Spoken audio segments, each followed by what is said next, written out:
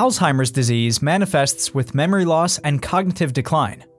It's caused by the progressive degeneration of brain cells, also called neurons.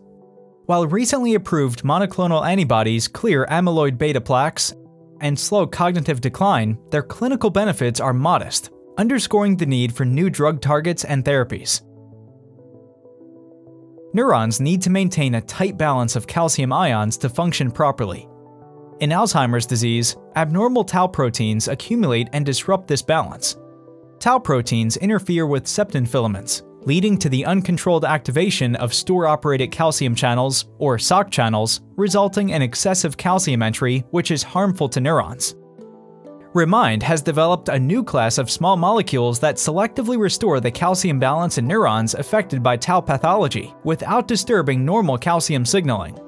These compounds bind to septins and restore their proper assembly into filaments. Stabilization of septin filaments prevents excessive calcium entry through SOC channels, thus protecting neurons from calcium overload. In mouse models of Alzheimer's disease, these septin modulators demonstrated remarkable effects. They restored synaptic plasticity, which is essential for learning and memory, and improved brain network activity and cognition. Additionally, they reduce the accumulation of pathological amyloid beta and tau species.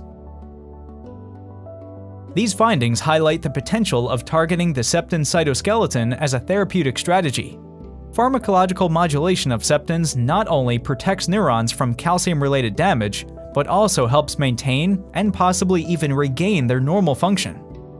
An optimized septin modulator was recently evaluated in a clinical trial with Alzheimer's patients.